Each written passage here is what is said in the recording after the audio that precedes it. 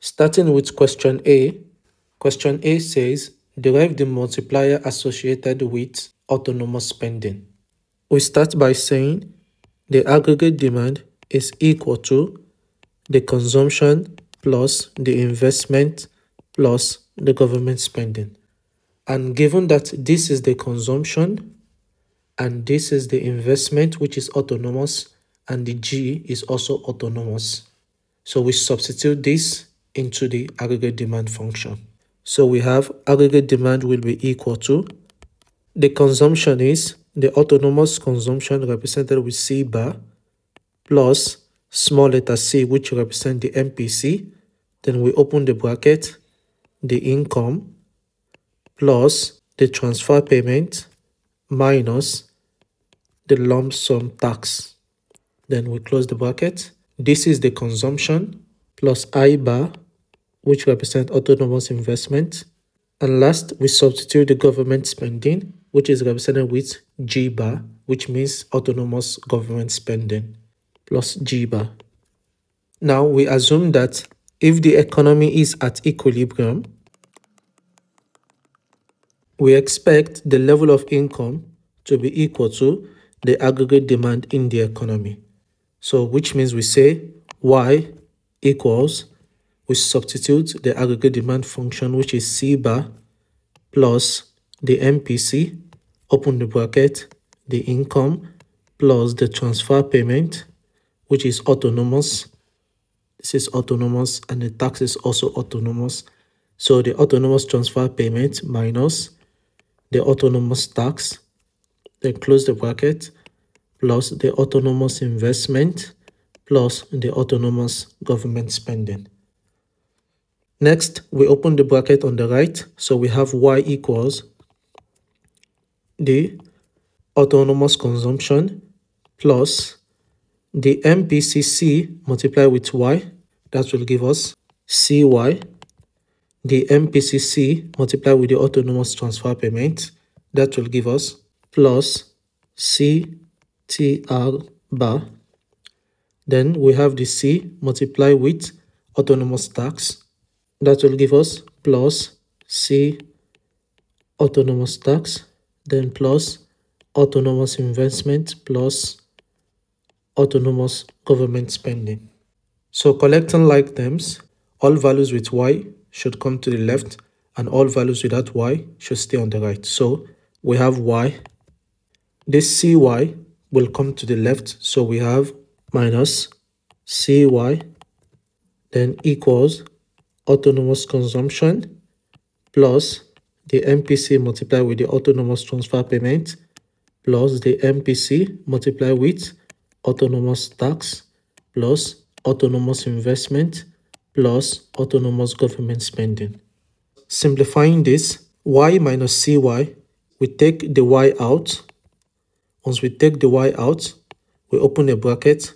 Once we take the y out of here, what is left there is 1. So we have 1. Then once we take the y out of this, minus cy, if we take a y out, what is left is minus c. So we have 1 minus c. If you open this bracket, you will end up with this. That is the way you confirm your answer. So y into bracket 1 minus c is equal to autonomous consumption plus c multiplied by autonomous transfer payment plus c multiplied with autonomous tax plus autonomous investment plus government spending. Now, to make this easy, since all of these identities here are autonomous, let's just represent them with A bar. Thus, A bar represents autonomous spending.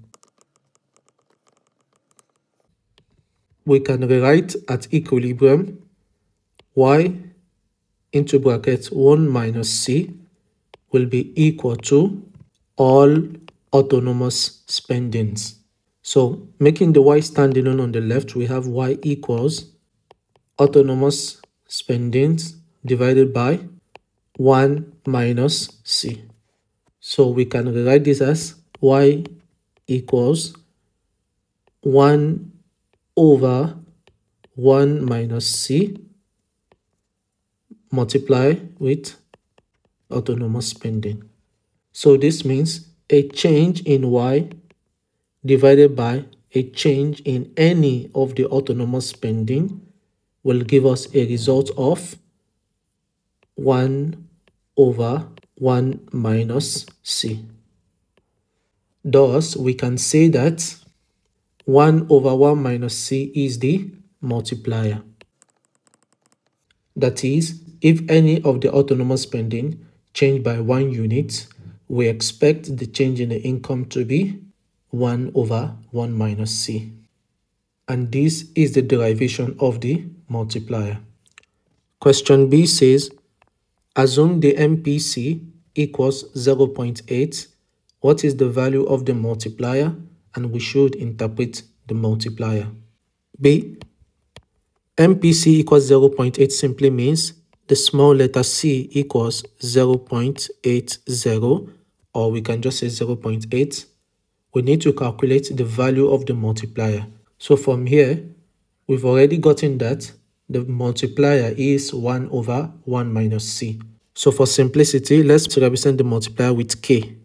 So k, which is the multiplier, equals 1 over 1 minus c. So this means the multiplier k equals 1 over 1 minus c is given as 0 0.8. So we close the bracket. Hence, k equals 1 over 0 0.2.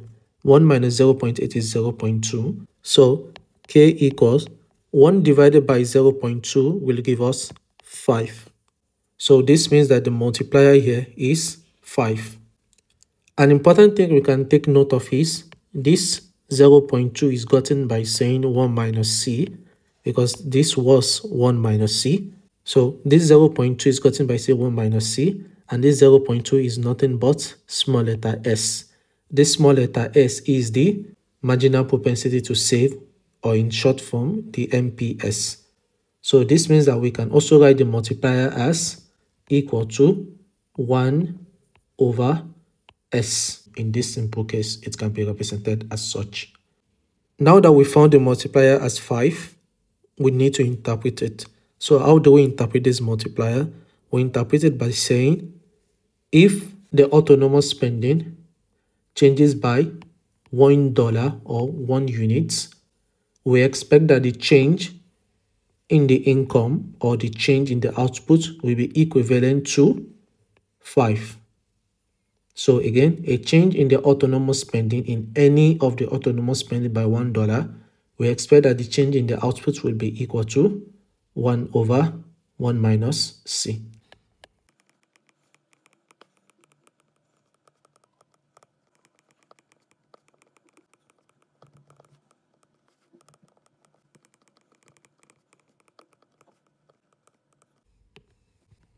So if any of the autonomous spending changes by $1, we expect the income or the output to change by $5.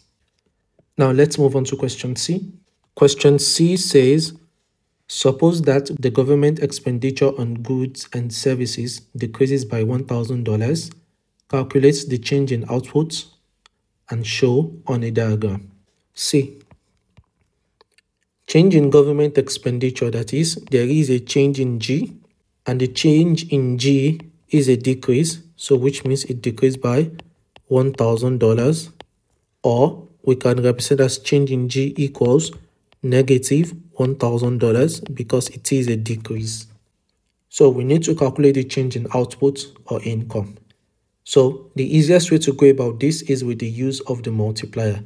Recall that while we're deriving the multiplier, we said y equals 1 over 1 minus c multiplied by all autonomous spending. And then we said a change in y will be equal to this 1 over 1 minus c is the multiplier represented with k. So we have change in y equals k multiplied with change in any of the autonomous spending. Now, g was part of the autonomous spending. So the change in the autonomous spending in this case is resulting from the government spending. Thus, we can rewrite this as change in y equals k multiplied by change in government spending.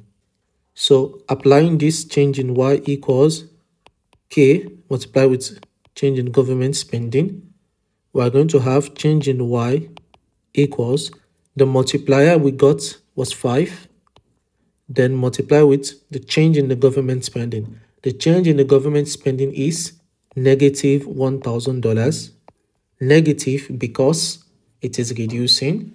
So that means change in y will be equal to 5 times 1000 that will give us negative 5000 so this means the y or the income will decrease by $5,000 if government expenditure decrease by $1,000. Income or output will decrease by $5,000 if government decrease their expenditure by $1,000. Now, how do we represent this on a diagram? We represent this on a diagram called the Keynesian cross. To draw the Keynesian cross, we have the vertical axis and we have the horizontal axis. On the vertical axis here, we have the aggregate demand or the total expenditure in the economy. And on the horizontal axis, we have the level of income, which is Y. Next, we draw a 45 degree line. This 45 degree line represents all possible equilibrium points, that is, all possible points where the aggregate demand or the total expenditure in the economy is equal to the level of income or the level of output in the economy. Thus, the initial level of equilibrium, let's represent it with this line. So here, AD is equal to, that means this point is where the aggregate demand is equal to the level of income. So we have the first level of income here.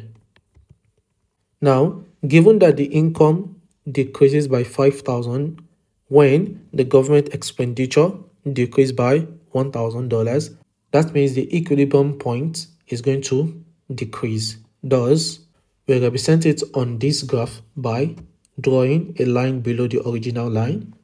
So this is the new AD. So this is the new equilibrium point. So we have this as the second level of income. So the first level of income, the second level of income, this will give us the change in y. And here the change in y is negative because the y2 is less than the y1.